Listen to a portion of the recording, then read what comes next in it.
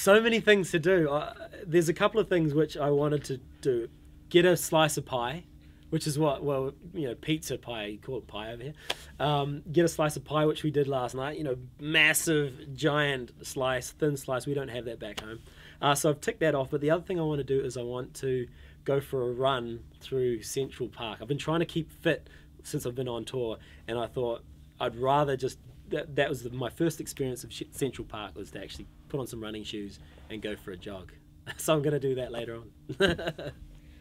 okay, um, yeah, uh, Fast Crew. We were together for the best part of ten years. It was um, yeah, it was a hip hop group we had back home, and um, I guess as a youngster, I just you know, I started writing all different kinds of music at an early age, and you know, I was playing rock bands. I was playing in, um, I played the drums in a church band. Uh, I was kind of, I played the euphonium in the school band. Um, so I was kind of all over the show, and then I just fell in love with hip hop music. You know, as a lot of kids my age at the time did, and uh, I became very, very passionate about it. Embraced the entire culture. Was breakdancing. Was you know, was right into it on every kind of level. And uh, we started freestyling. We started doing that kind of stuff at parties, and uh, my ability to kind of construct songs sort of took over, and I ended up, you know, forcing the other boys to like sit down and try and formulate these songs with me. Um, and then yeah, one thing led to another, and we had we had a brilliant run. We had an amazing run.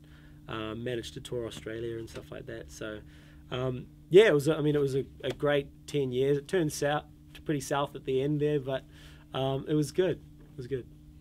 I had I had always um, wanted to release a solo record. It was something that was it was always on my mind, and all through the, through those years, people would always say, "Man, you should do your own thing." Da da da da da.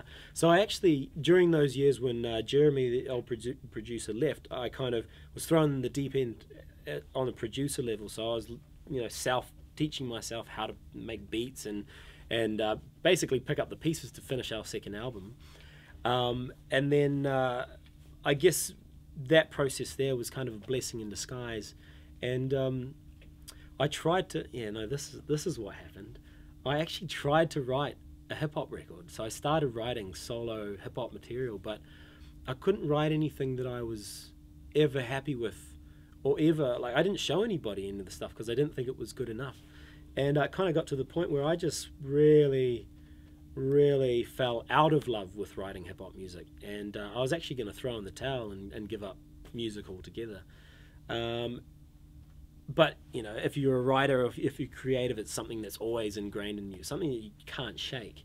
Um, and so I found myself picking up the acoustic guitar and approaching songwriting in a different way and formulating these pop songs, which is something so far from what I was used to.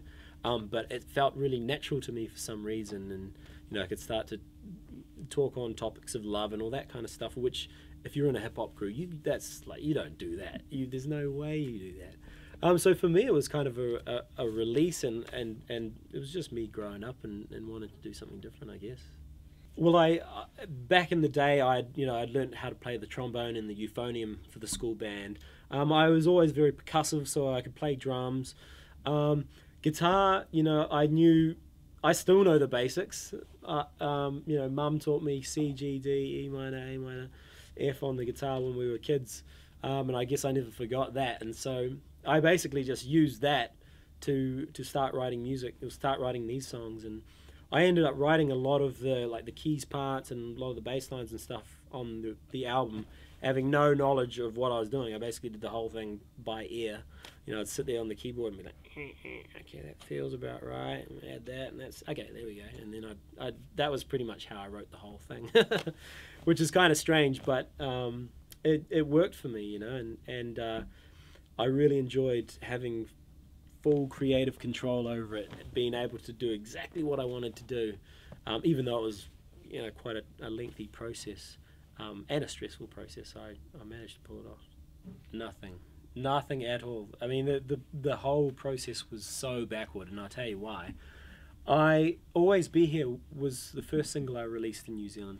It was the first song I actually finished. So I had like a, I started a few, I had maybe four or five on the go, and I didn't really, wasn't really feeling any of them, but Always Be Here uh, was the first song I actually finished, and I was like, oh, okay, I think we might have something here. And uh, took it up to a friend of mine was um, uh, he's head of Warner's now. I took it up to him, and he said, "Oh, this is pretty cool. Why don't we release it?" Um, and so we did, and uh, and it blew up. And then I was like, "Holy hell! What do I do now? I don't have any other material. People wanting to book me for shows." Um, and I only had one song, so then uh, so then I just went into overdrive and I I wrote the second song that I wrote was "Don't Know What to Do," and then we released that as a single, and uh, and that did well. And then then there was this enormous pressure to write an album. So it all kind of I've just been playing catch up ever since I wrote that first song, pretty much. So, yeah.